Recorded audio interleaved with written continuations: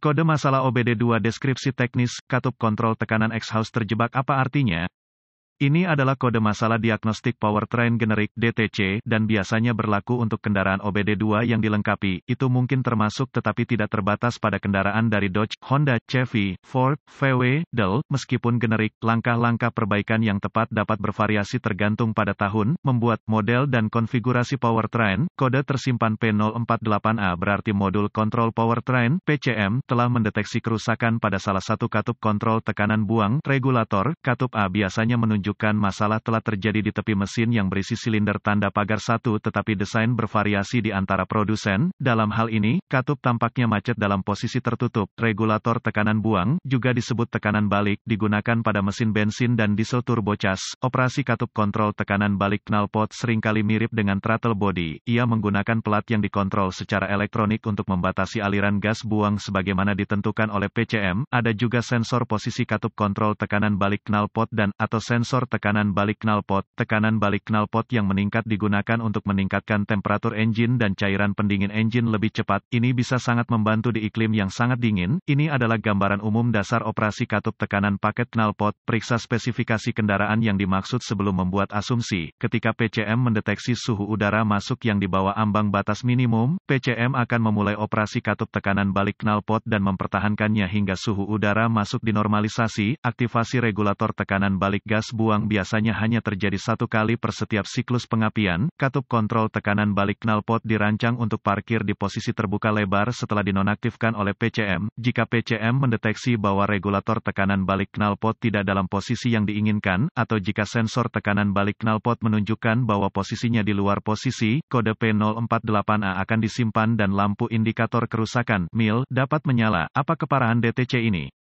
Karena tekanan balik knalpot dapat mempengaruhi fungsi kontrol iklim dan drivability, kode P048A yang disimpan harus ditangani dengan tingkat urgensi tertentu, apa saja gejala dari kode tersebut.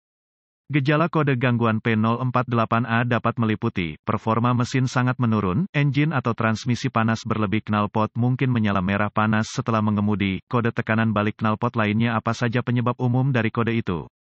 Penyebab kode P048A ini dapat mencakup sensor posisi katup kontrol tekanan balik knalpot yang rusak sensor-sensor tekanan buang buruk sumber informasi kendaraan yang andal akan diperlukan untuk mendiagnosis kode P048A, alat lain yang diperlukan, pemindai diagnostik volt, ohmmeter digital, DVOM, termometer inframerah dengan penunjuk laser setelah pemeriksaan visual yang saksama terhadap kabel dan konektor terkait sistem, temukan port diagnostik kendaraan, hubungkan pemindai ke port dan ambil semua kode yang tersimpan dan beku melakukan data bingkai, catat informasi ini karena mungkin bermanfaat saat diagnosis Anda berlanjut. Sekarang, hapus kode dan uji drive kendaraan untuk melihat apakah P048A segera kembali. Jika ada kode suhu udara masuk atau kode suhu cairan pendingin engine, diagnosa dan perbaiki kode tersebut sebelum mencoba mendiagnosis P048A. Cari buletin layanan teknis TSB yang berlaku untuk kendaraan, kode, dan gejala yang dimaksud. Jika Anda menemukan yang cocok, kemungkinan akan sangat membantu Anda dalam diagnosis Anda. Jika tidak ada masalah kabel atau konektor yang ditemukan, mulailah dengan menguji sinyal tegangan yang diharapkan pada katup kontrol tekanan buang. Dengan DVOM, Anda mungkin perlu menggunakan pemindai untuk mensimulasikan kondisi start dingin dan mengaktifkan sistem kontrol tekanan gas buang. Jika sinyal tegangan ground yang tepat tidak ditemukan di konektor katup kontrol tekanan buang, lepaskan semua pengontrol terkait dan gunakan DVOM untuk menguji resistensi dan kontinuitas masing-masing sirkuit. Sirkuit yang ditemukan tidak sesuai harus diperbaiki atau diganti jika tingkat tegangan RD yang benar ditemukan di katup kontrol tekanan knalpot, ikuti rekomendasi pabrik untuk menguji katup kontrol tekanan knalpot menggunakan DVOM. Jika tes pin keluar katup kontrol tekanan buang tidak sesuai dengan spesifikasi pabrikan, maka harus diganti. Jika katup dan sirkuit kontrol tekanan buang dapat dioperasikan, uji sensor posisi katup tekanan kontrol atau sensor tekanan buang, sebagaimana berlaku, sesuai dengan spesifikasi pabrik, ganti komponen yang gagal sesuai kebutuhan, Anda dapat menggunakan termometer termometer inframerah untuk mendapatkan pembacaan suhu gas buang yang sebenarnya jika tidak ada tampilan data pemindai yang tersedia. Ini terbukti bermanfaat untuk menentukan apakah katup kontrol tekanan buang benar-benar berfungsi atau tidak.